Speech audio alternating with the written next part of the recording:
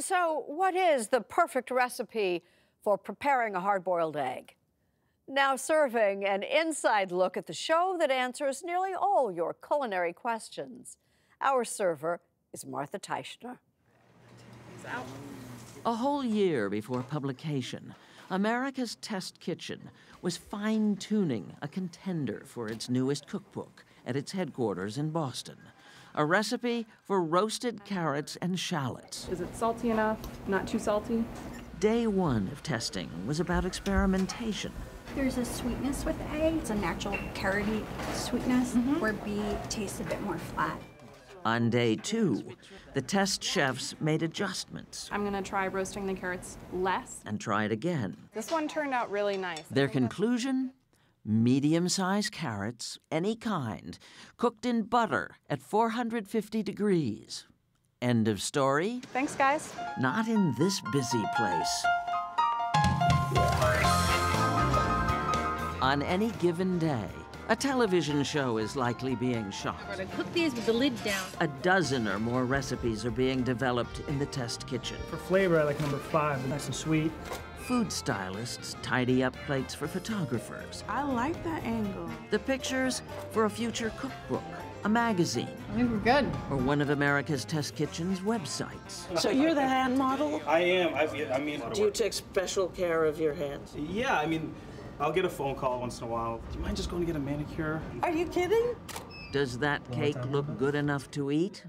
What's left is headed for the take home fridge, an irresistible perk for ATK's growing staff, who now number almost 200. In 2017, the expanding edible empire moved to this 55,000 square foot space along Boston's waterfront. So we have the two television shows, our two magazines, about 15 books a year, and then our websites. Chief Creative Officer Jack Bishop, like a lot of ATK's experts, is a regular on the TV shows. What makes a great fish sauce?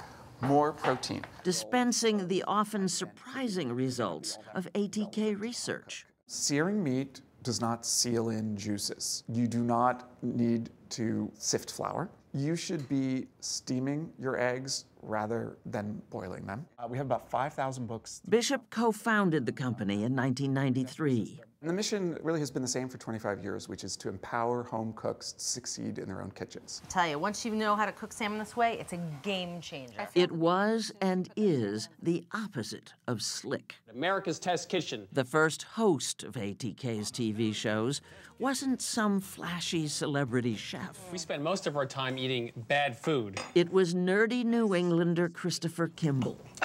A little dry. This was not an obvious blueprint for the huge success ATK has had. Garlic breath is actually a very real phenomenon. Especially since the company didn't then and doesn't now accept any advertising. The one problem is the handles get really hot over a gas flame. In addition to the recipes, the review content's a very important part of the mission at America's Test Kitchen. And that's difficult to do if you are also accepting advertisements from the same companies that you're then reviewing. 500. Lisa McManus gets paid. All right, here we go. Sorry, little pan. To abuse stuff. Still on for now, we'll see. That was very warped. In this case, skillets. Wow, okay, bad. In order to figure out which ones warped, still warped, are tough enough to take it. We're getting there. Just think the job satisfaction. You know, we always try to find out why did the winners win and the losers lose. We don't just say take our word for it. We want to prove why. As executive tasting and testing editor, how's that for a title? Her rigor is part of the reason people trust ATK product recommendations. Today, I've got some of the worst gadgets of the year. Trust is the reason ATK's cooking shows reach more than 4 million viewers. We tested a lot of ways to heat up the skillet.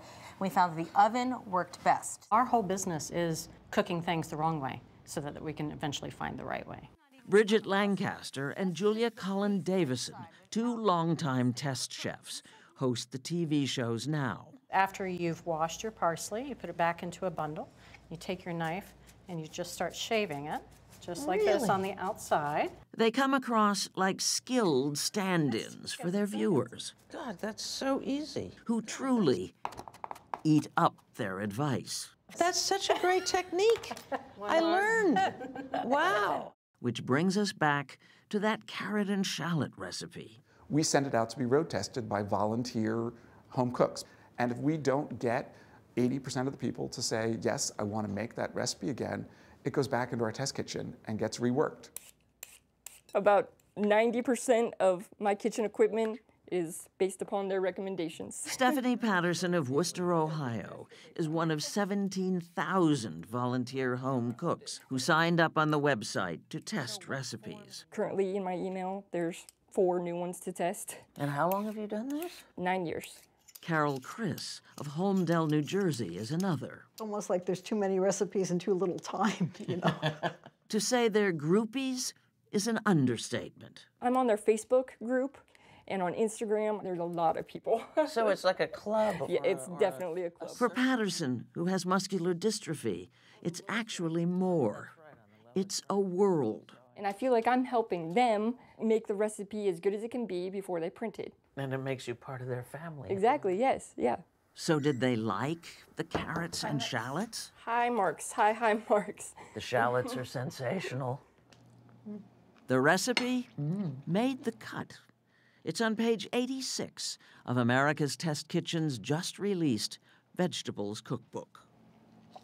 That's a very good. Mm-hmm.